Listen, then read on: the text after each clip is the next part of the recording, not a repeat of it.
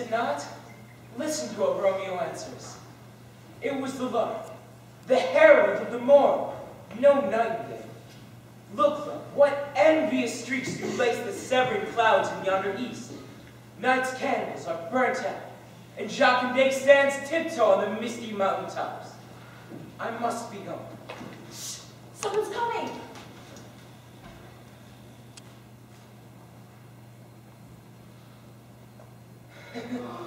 no. Now, mademoiselle, you mustn't be frightened like a startled bird who at the slightest noise flies off the branch. Listen to what the immortal lovers say to each other. Romeo, let me be tamed. Let me be put to death. I am content, so thou wilt have it so. I'll say yon gray is not the morning's eye. Tis but the pale reflex of Cynthia's brow. Nor that is not the lark, whose notes do beat the vaulty heavens so high above our heads. I have more care to stay than will to go. Come, death and welcome. Oh no! I do not wish you to speak of death. No, I shall cry. Then let us close our book until tomorrow. Since you wish it, we shall let Romeo live. lovely spot. It seems to me that it was made especially to cradle the beautiful verses of the great Shakespeare. Oh, the verses are beautiful. And the gardens are beautiful. But what makes them more beautiful to me is the music of your voice. Flattered. Poor lovers! How cruel their fate! How sad for them! I think that Romeo and Juliet are Yes? nothing. Yes, something which suddenly made you blush. King. Ah, you cannot deceive me. Your eyes are too transparent. Ah, I understand. I see what you meant. You were thinking of us, of our families, Yes. of your mother, of my mother, of the terrible hatred they have for each other. Yes! That is what me. That is what makes me cry often when I'm alone. Last month, when I returned home from the convent, my mother showed me your family's park and said to me, My child, you see there the domain of my mortal enemy, Dominique Bergamin. Never let your cross that of her her rascal son Percinet. Promise me that, or else I shall disavow you as an enemy. Their family has always hated ours. I promise. But you see I keep my word. And did I not I also promise my mother to hate you? Always, Silva? I love you. Oh, yes! It's so sinful. Yes. But what can we do? The greater the barriers to love, the stronger the desire. Sylvette, kiss me. Oh, never! But you do love me. What does he say? I'm saying only what you yourself said just a short while ago. Yes, you yourself, Sylvette, compared Romeo and Juliet with us. Here. I didn't say But you did, and it is true.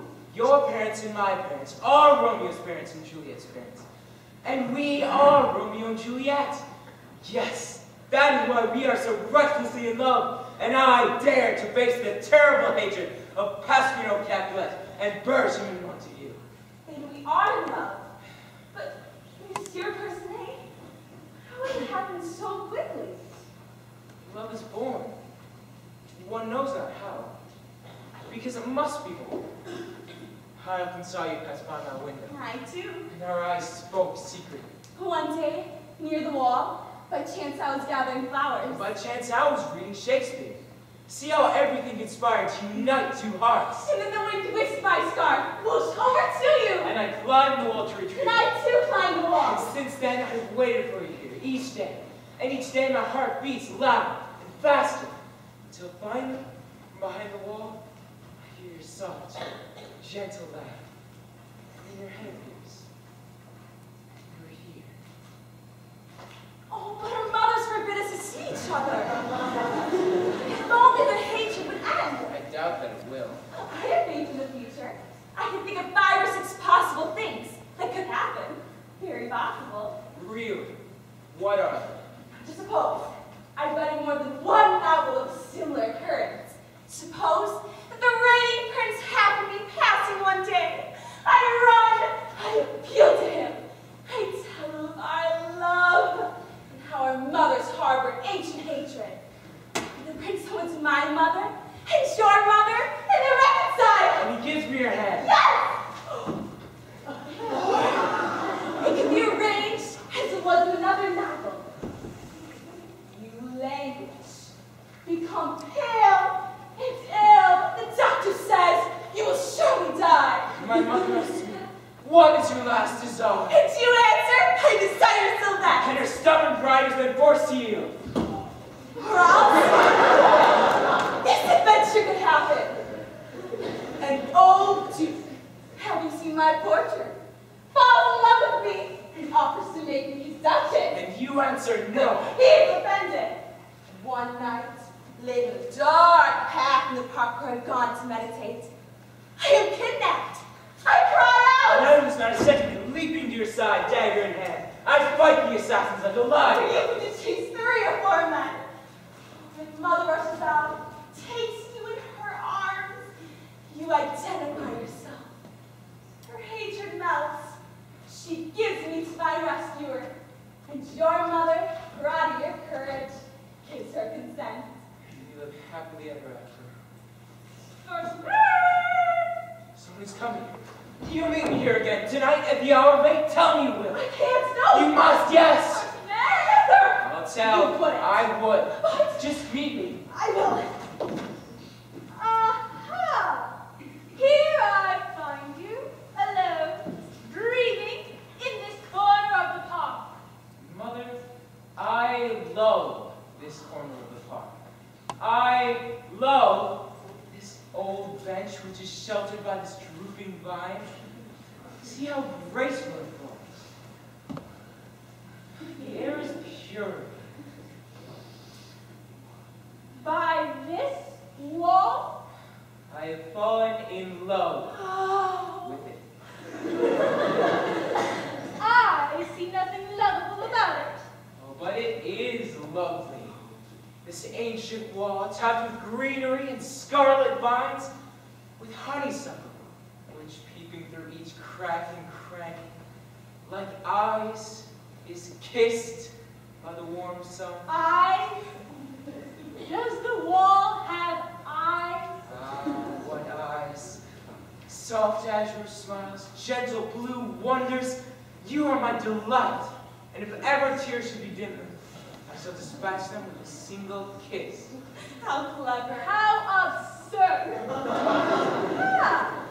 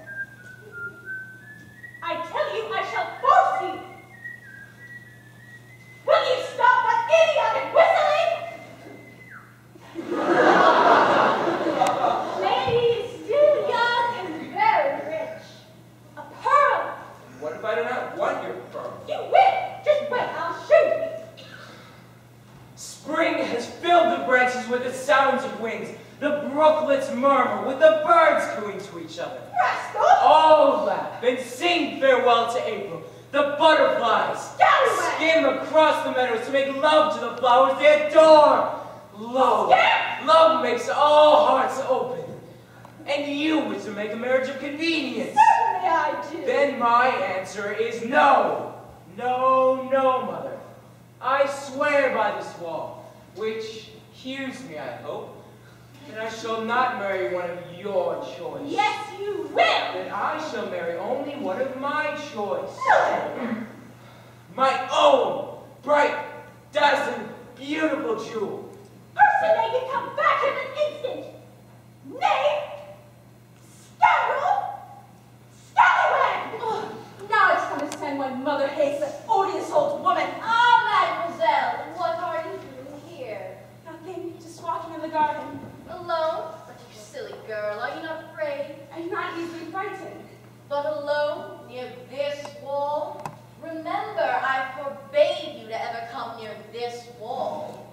Over there, you see the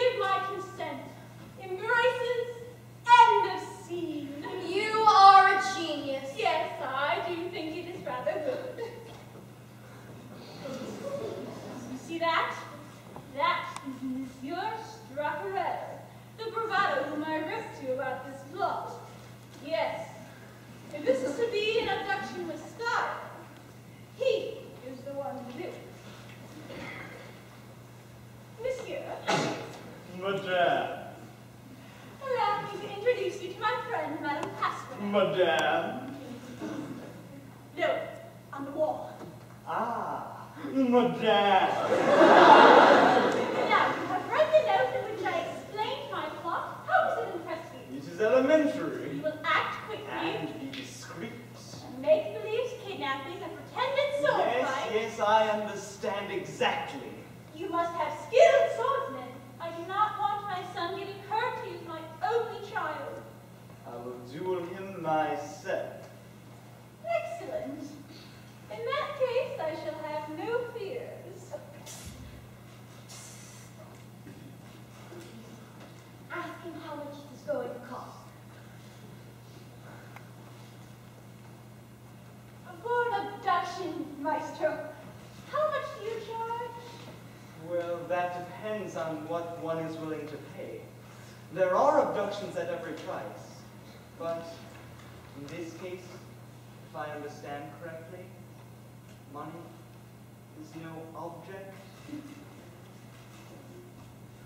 So if I were you, I would have the first class abduction. You have many classes? Numerous. There's the common abduction by cab with two sinister characters. That is hardly ever used. We have the midnight abduction, the daylight abduction, the pompous abduction in a court carriage with servants. Wigs are extra. This chase abduction with two, three, four, five horses. One plays the number by ear. The discreet abduction in a little carriage. Though that one is a bit dreary. The droll abduction by sack. Or the romantic abduction by boat! One needs a lake for that. the Venetian abduction by gondola, but of course one would need the lagoon. The sinister abduction with combat. The brutal abduction. The polite abduction. The abduction by torchlight. Very pretty. Abduction with masks. The gallant abduction set to the accompaniment of music. But the newest, the gayest, the most distinguished of all is the full moon abduction. What do you think? What do you? I think we should have the best of everything. Spare no expense. Let us give our young fantasies something they will not soon forget. Let us have it with masks, music, torches, and a full moon. First class then with all the trimming. Bravo, bravo. I shall return. Remember, madame, you must leave your park gate open tonight. It will be open. My compliments. Oh, dear. One first class then, with all extras. An honest man. He went without telling us the price. Ah, it is all settled. Soon we will demolish this wall. Our dearest wishes are about to be realized. We'll grow old together. Your daughter is provided for. Your son too. Oh, my dear old Bernadette. Oh, my dear old Dominique. Oh, your daughter. Oh, Your son. We must pretend to fight. Yeah! Wait! Turn him come! Hold him! Wait! it's late. Something you're on the outside! Uncle, all right! Jeez! Remember your rheumatism!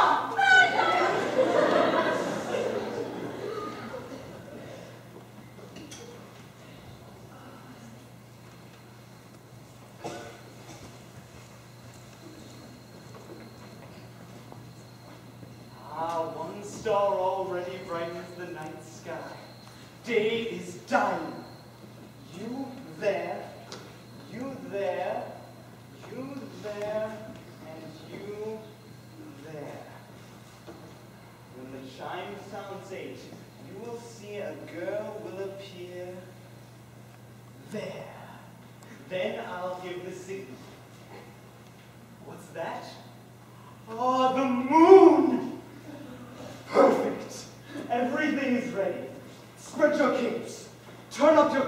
bit more. Stand here in the shadow. Ah, the swordsmen are not bad. Torches!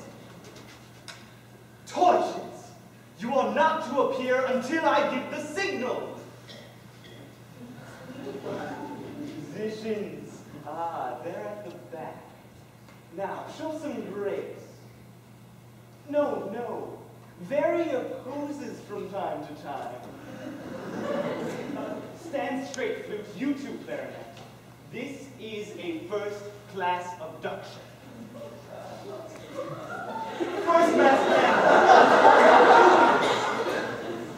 No, no! A desperado never waddles. Now, show some character. Give me a dangerous, villainous walk.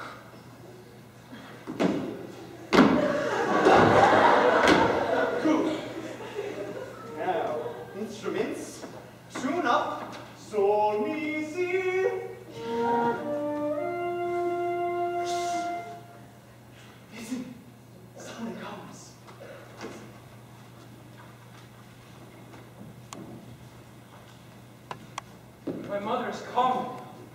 I can slip away. It is the end of the day. The scent of the elders intoxicates my senses. The flowers sleep in the gray shadows. Music. First, trembling and read. What can be wrong with me? I shall soon see her again. Amoroso. Our first evening meeting. I can scarcely believe it. Oh, the breeze sounds like the rustle of her gown. You can no longer see the flowers, but their scent grows sweeter. Ah, and this great tree with a star to stop. Music. Ah, there's music too. Night has come. Oh, gentle night with its twinkling lights there and there. One by one come in the deep blue sky, sparkling sapphire and diamond. Oh, stars, I thought you dazzling until I met Sylvette. Now her eyes outshine you a thousand times. Oh, poor, poor little stars. The chimes have struck eight. You must be waiting by the wall.